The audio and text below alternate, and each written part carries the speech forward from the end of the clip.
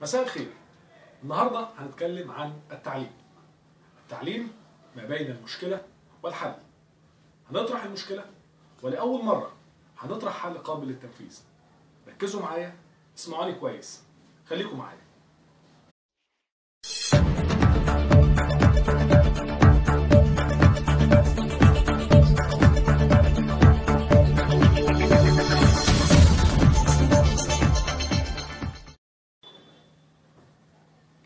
التعليم بيعاني من أزمة خانقة جدا وده بيتمثل في مخرجات العملية التعليمية.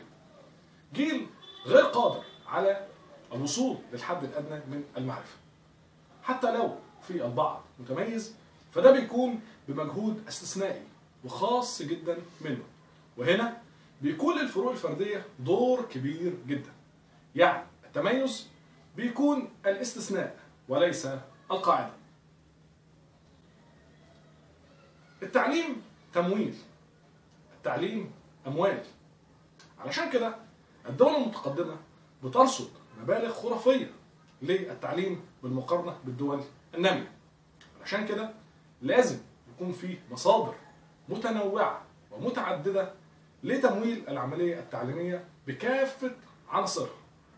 من وجهة نظري المبنى المدرسي هو من أهم موارد العملية التعليمية. المبنى المدرسي بيشتمل على ملعب قاعة أنشطة قاعة مسرح معمل في بعض المدارس فيها ورش في بعض المدارس فيها حدائق بترقى إلى مشتل إزاي كل ده يتقفل عليه بالجنزير بعد الظهر لحد تاني يوم الصبح دون أي استثمار؟ لازم يكون في صيغة بتسمح لبعض رجال الأعمال والمستثمرين باستثمار مرافق المدرسة في غير أوقات العمل الرسمية. بكده هنضمن للطالب تاني يوم الصبح ملعب متطور جدا معمل في أحدث الأجهزة والوسائل قاعه أنشطة متطورة ومسرح على أعلى مستوى. كده هنضمن للطالب إنه يمارس الأنشطة العلمية والعملية في جو راقي جدا ومحترم جدا والنتائج هتكون مذهلة جدا. التعليم مجاني ولكنه مكلف جدا. ده لغز كبير جدا مش موجود غير في مصر. بالفعل الدولة بتدعم العملية التعليمية بمبالغ ضخمة جدا. مليارات بتنفق على الصيانة والتشييد وطباعة الكتب وخلافة دون أي عائد مادي يذكر. وفي نفس التوقيت أولياء أمور الدارسين بيصرفوا مبالغ ضخمة جدا على تعليم أولادهم. ولكن هذه المبالغ بتصب في خارج إطار العملية التعليمية تماما. بتصب في جيوب أباطرة الدروس الخصوصية والمراكز والمعاهد المنتشرة في كل ربوع البلاد.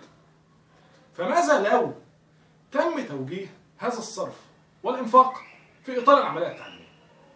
بالتأكيد هتتطور كل عناصر العملية التعليمية وعلى رأسها المعلم والطالب ده بيسموه الخصخصة. الخصخصة بأن أنا أجذب رجال أعمال ومستثمرين للاستثمار في القطاع التعليمي ولكن بصيغة معينة وبنسبة معينة لا تسمح لهم بالإشراف الكامل أو حق الإدارة. هو ممكن يكسب بس مش تحت إشرافه. من هنا هضمن إن هيبقى في تمويل جيد لعناصر العملية التعليمية وتطورها فيما بعد. هيكون في توابع لعملية الخصخصة. أبرز هذه التوابع هو خروج عدد لا بأس به من العاملين في قطاع التعليم. بتلاقي مدرسة طويلة عريضة فيها 70 80 90 واحد بيشتغلوا وبالفعل القائم بالعمل سبع ثمان تسع أفراد. والاحتياطي قد كده مش لاقي حد والإشراف قد كده ومع ذلك في عجز شديد جدا. طبعا القطاع الخاص هينظم العملية دي والناس اللي ملهاش دور هتخرج وهيسد العجز بكفاءات حقيقية. ده غير إن نظام الترقي هيكون بنظام الكفاءة مش الادميه. برضو من التوابع السلبية هي حدوث تسرب في التعليم للدارسين. بمعنى إن في ناس هتبقى غير قادرة لأن المصروفات هتزداد بشكل كبير جدا. غير القادر ده مش هيقدر يدفع المصروفات فمش هيتعلم فهترتفع نسبة الاميه وهنا لازم الدولة تتدخل في بداية المشروع ويعني يكون في صيغة أو قانون بيسمح بإن التعليم الإلزامي أول خمس سنين يكون مجانيا لعموم المصريين. وبعد كده بيكون قدامك طريقين. يا تكمل وتدفع مبلغ أو تخش في التعليم المهني ولكن هيبقى في غير القادرين المميزين وهنا بقى دور الدولة في إن هم يكملوا تعليمهم بمنح تجدد سنويا يعني في إطار تحصيلهم الدراسي أو لو وصلوا لحد معين من الدرجات يبقى كده ليه الحق في إن هو يكمل بمنحة على نفقه الدولة. فهيبقى عنده نوعين من الطلاب هيكملوا تعليمهم بشكل سليم. طالب بيدفع مبلغ محترم علشان يتعلم وطالب تاني بيبذل جهد محترم علشان يتعلم. وبالتالي مخرجات العملية التعليمية والنواتج هتكون مذهلة جدا في كافة عناصر العملية التعليمية.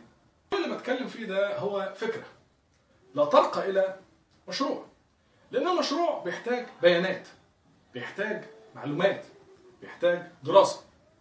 ويمكن أنا تواصلت الصيف الماضي مع القائمين على مؤتمر المؤتمر الوطني للشباب اللي كان برعاية السيد رئيس الجمهورية وكان بحضوره وكان تحت إشراف رئاسة الجمهورية. تواصلت معهم وبعت بعض أفكار ولكن هم مش عايزين كلام مرسل. هم محتاجين مشروع ببيانات وأرقام. فطلبوا مني إن أنا أجهز نفسي وممكن أشارك في المؤتمر القادم إن شاء الله بالمشروع ده. فأنا موجود لو أي حد عايز يتواصل معايا. أي حد عايز يمدني بأي معلومة. ونبدأ مع بعض كده نواة مشروع ممكن يكون إسهام في تطوير التعليم في بلدنا. يمكن أنا شاكر جدا لدعمكم واهتمامكم. لكن أنا حابب بس نستنى سنة كده مع بعض في اللقاءات القادمة بأن إحنا نرشح رواية أو كتاب.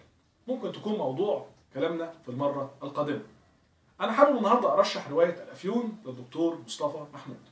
رواية لذيذة جدا خفيفة جدا. هتلاقوها في أول comment ال link بتاعها. بتتكلم باختصار شديد عن الصراع الثلاثي فيما بين العلم والدين والشعوذة. نتناقش فيها مع بعض في ال comments والشطارة بقى نعرف مين هو الشخص اللي كان بيرمز للعلم ومين الشخص اللي بيرمز للدين ومين الشخص اللي كان بيرمز للشعوذة. وفي رأيك مين فيهم هينتصر في النهاية؟ مرة تانية بكرر شكري ليكم ولدعمكم واهتمامكم. والسلام عليكم ورحمة الله وبركاته.